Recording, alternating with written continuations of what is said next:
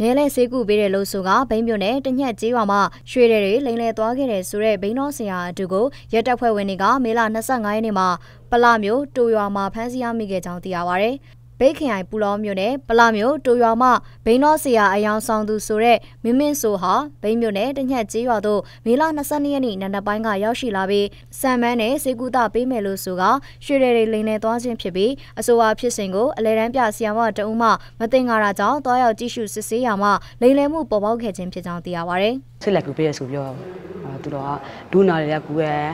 နာနေလူတွေမရှိရလောက်မေးပါမေးတော့ဥပါတော်တော့အဲသူမဒုနာနေတော့ဒီလူကိုခေါ်လိုက်တယ်ခေါ်လိုက်ပြီးတော့ဒီလိုသူကတော့အရင်ဥပါတော်နေပေးမယ်လို့ထင်တာပေါ့နော်အဲဆိုတော့သူကဒါဒီချိန်မှာသူကမနေဘဲနဲ့အာလူလှုပ်ထားတယ်လူများလှုပ်ထားတယ်လူလှုပ်ထားတယ်အဲ့တော့ရွှေစိပြီးတောင်းရမယ်ရွှေပတိကိုတောင်းတယ်ရွှေပတိကိုတောင်းပြီးဆိုတော့ရွှေစိပြီးတော့ပေးတောင်းတယ်နာ ယောဂကုသမားတရားပေါ့မတိတော့ဆိုတော့မတိတော့သူသမီးလေးကကြတော့ဟာနှုတ်ထိုင်းနေတယ်ငါတဲငါနေပြီးပြီးဖက်စကားကိုဖျောက်တက်တာမပြောနိုင်ဘူးနှုတ်ထိုင်းနေတဲ့အတွက်ကြောင့်သူကလည်းသမီးလေးကိုပြောလာအဲ့ဒီချိန်မှာသူသမီးလေးကိုငကတာရဆူရပြောပြဆိုတာငကတာရဆူပြောပြရသူသမီးလေးကိုရွှေစိပေးတောင်ရမယ်ပေါ့ရွှေစိပေးတောင်ရမယ်လို့ပြောတော့မတိတော့လည်းသူလက်ဘဲမှာရှိနေတဲ့ရွှေပတိဟိုကြာကြောကြောလေးကိုဖြုတ်ပေးပြီးဆိုတော့သူ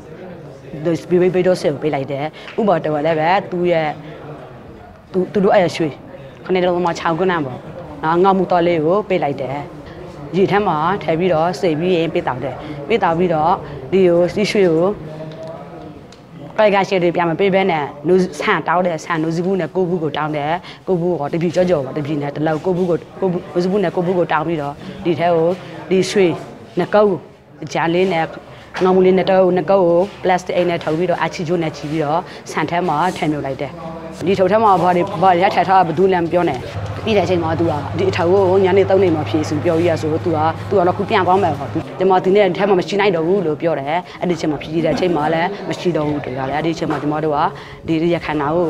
ဝိုင်းပြီးတော့လိုက်ကြရခန္ဓာတော့ရဆိုတော့မတိတဲ့အတော့ပြန်တယ်ဆိုတော့မိနစ်20လောက်ရှိသွားပြီပေါ့အဲ့လိုတိုင်းပြီးလိုက်လိုက်တဲ့အချိန်မှာတဲ့ခါလည်းမမီဘူးကျွန်တော်တို့အဲ့ပြန်တော့အချိန်မှာညနေ3နေလောက်ရှိတယ်ပေါ့ကျွန်တော်တို့ဟိုလိုက်ရှာဒီလိုက်ရှာတယ် အဆိုပါဖြစ်စဉ်ကိုရွာသားတွေကလိုက်လံစုံစမ်းရာတဘိုရွာမှာအခုလိုပဲလိုက်လံလိမ့်လည်နေသူတဦးရှိနေကြောင်းသတင်းအရရဲတပ်ဖွဲ့ဝင်တွေကိုတိုင်တန်းခဲ့ရာမေလ25ရက်နေ့ကဖမ်းဆီးရမိခဲ့ခြင်းဖြစ်ကြောင်းသိရပါဗျ။အဆိုပါဖြစ်စဉ်နဲ့ပတ်သက်ပြီးဆေးဆရာအယောင်ဆောင်ကရွှေရည်လိန်ယူသွားသူကိုတောင်ရှင်နယ်မြေရဲစခန်းမှပ30မြင်းဆောင်2018ရာဇသက်ကြီးပုံမှ420နဲ့အမှုဖွင့်ရေးယူထားကြောင်းသိရပါဗျ